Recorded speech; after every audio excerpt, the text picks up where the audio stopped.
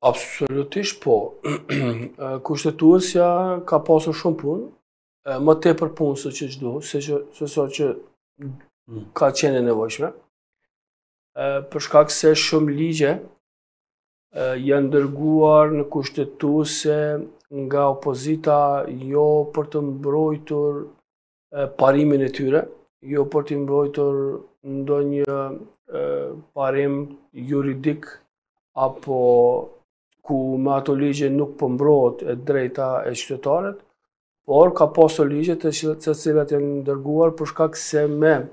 funksionalizimin e atyre ligjeve ndoshta ishin atakuar vetë disa persona, jo të gjithë natyrisht, Nuk mund të të përgjithësoj, por disa persona pjesëtarë të opozitës të interesave të tyre, siç është për shembull ligji me konfiskimin e pasurisë, apo edhe për plot jo për plot, por disa ligje, disa ligje tjera të cilat janë dërguar, por ato nuk po e nuk do të nuk do të lejojmë që të të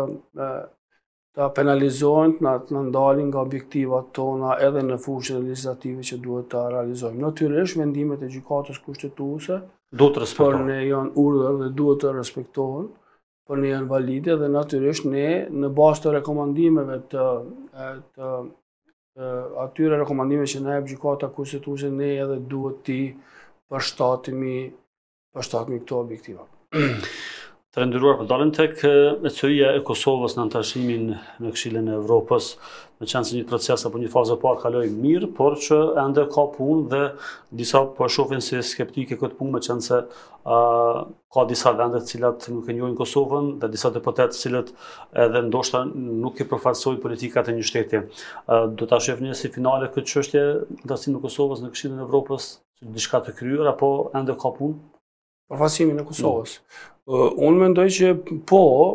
kushtet fillestare në të cilat ne i patëm, ne i, i zbatuam, siç është çështja e,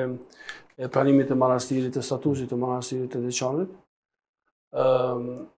dhe natyrisht i kaluam dy fazat e para testuese, tani më edhe Ministrja Gërvalla dhe Kryeministri janë duke, duke lobuar, duke paraqitur arsyeshmërinë që ne duhet të jemi pjesë e Këshillit të Evropës dhe mendoj që edhe ju dhe të gjithë qytetarët, edhe opozita, mendon që duhet të jemi pjesë e Këshillit të Sigurimit, për shkak se i plotësojmë të gjitha kushtet, të gjitha kriteret, të gjitha standardet, jemi shtet i mirë në funksional në funksionim tani më dhe jo siç po e shihni edhe personat përgjegjës vet nga Këshilli i Përgjithshëm burrështetas të ndryshëm vet Dora Bakojani thotë që asnjëherë asnjë shteti nuk ka pasur kaq shumë të padrejt, kaq shumë kushte që po tentojnë me me me i vendos ne e shtetit të Kosovës. Dhe mendoj që nuk duhet të jetë kusht as asociacioni, siç nuk duhet që një asociacion i tillë të dërgohet as në gjykatën kushtetuese, dhe pres që data 15-16 e këtij muaji të jetë data ku do të festojmë të gjithë pra pranimin e Kosovës. Nëse nuk do të jetë kusht asociacioni. Nëse nuk do të jetë kusht asociacioni. Natyrisht, këto dy çështje i shtjellon më mirë kryeministri, gjithashtu ministrja e jashtme, por edhe presidentja Vjosa Osmani.